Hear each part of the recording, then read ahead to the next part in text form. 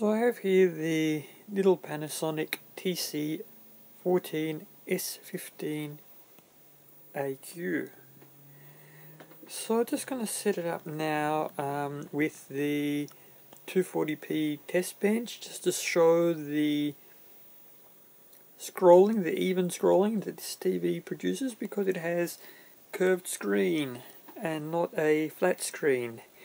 So um, very easy easy on this TV to, to switch between the color system modes. Just press the preset button and here it's on auto but you can switch it to PAL or NTSC versions.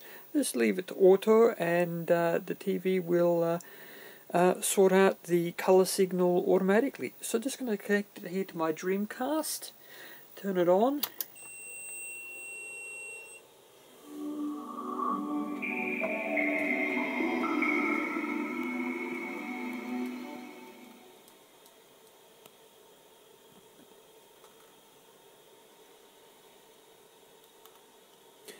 and we're at GD menu so just going to go down to the 240p test suite and enter that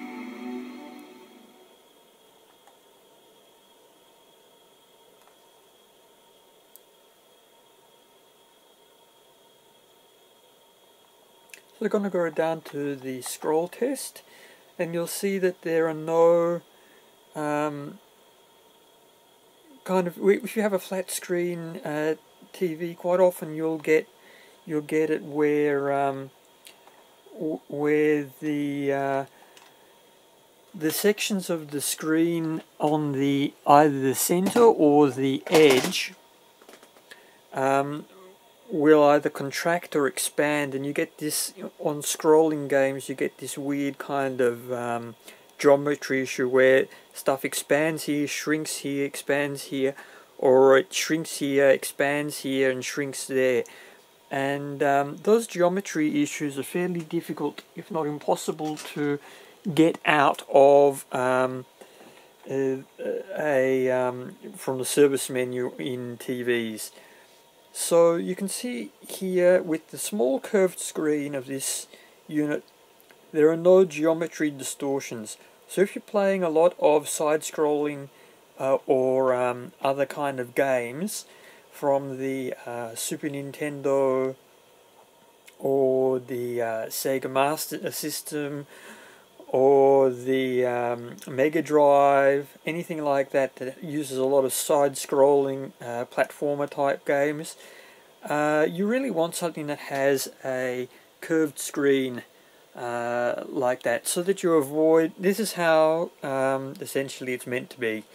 Uh, so something like a Trinitron or uh, the smaller or a TV that has a curved tube on it I'm not saying that all flat screen tubes are bad, but so many of them, uh, it, it's very difficult to get a CRT that is perfect anyway.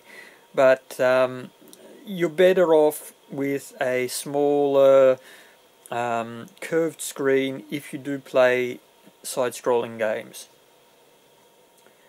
So just exit out of this now. Uh, yep, so uh, we can go down to the grid scroll test as well. As you can see there, there's no geometry distortions as the picture is scrolling.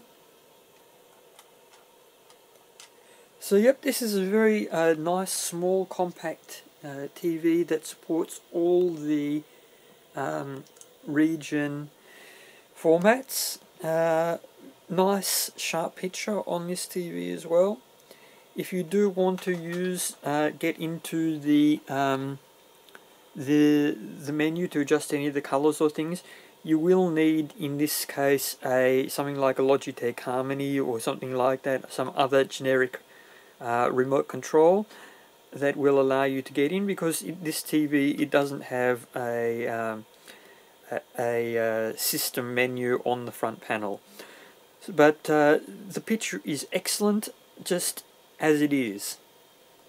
It also has front AV inputs as well as an earphone uh, output as well, mono speaker. The sound quality is quite good on this TV as well, and being a Panasonic, uh, there should really be no issues with uh, something like this for uh, your gaming needs. So this TV as well, it has this nice kind of um, more modern uh, kind of silver, kind of a darkish silver finish as well and uh, it's kind of a two-tone effect. This you come around here, this section's black, this section's silver.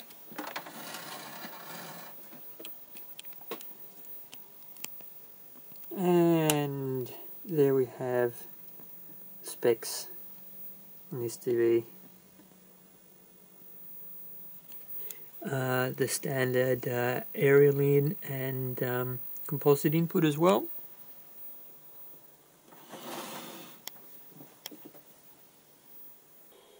So just going to test now with uh, a game in uh, standard composite mode just to give you an idea uh, with the quality that you can expect from uh, from this uh, TV. The, it's always very difficult to capture um, CRT footage um, with the camera uh, so this does look better in person than the flickery display here.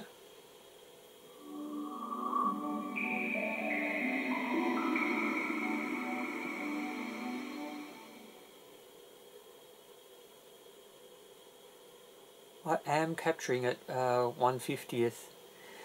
Uh, but yep, it's uh, still a bit flickery um, with the camera.